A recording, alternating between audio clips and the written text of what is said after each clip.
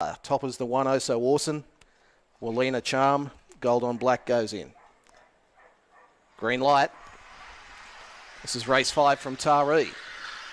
Favourite the red.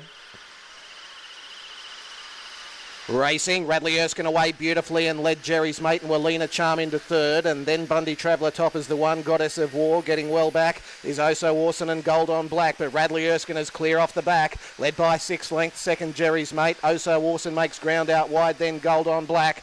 But to the bend, it is all Radley Erskine a mile in front. Good battle the minors, but Radley Erskine far too good. Wins over Jerry's mate and Gold on Black. Next in Oso Orson. Then uh, Bundy Traveller top as the one. Goddess of War, and Walina Charm.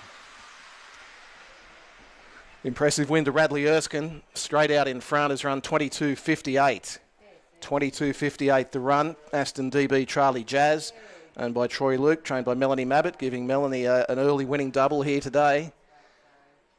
Number four, second, Jerry's mate, Beast Unleashed, uh, Jan Bale. James Goddard owns and trains. Four and a half, three quarters the margins. And number two, Gold on Black, Aston DB Sally Do for Dennis Solomon. So it's 1 4 2, 7 gets fourth, 22 58 on the fifth. So repeating those margins, they're four and a half by three quarters. Four and a half by three quarters. And uh, Radley Erskine, too good. Was 175 out to 185 on the fixed odds board in the end. Jerry's mate on the uh, fourth line of betting. It was a $14 chance, and Gold on Black was the clear second favourite. It was $3 into 290 in the last couple of minutes of betting. So 1427.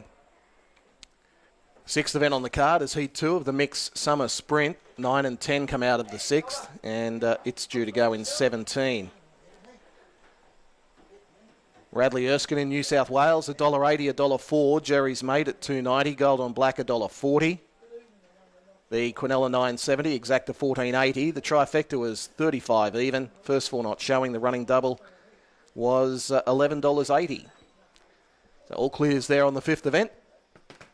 And we'll be back for race six here from Taree in around 17 minutes' time.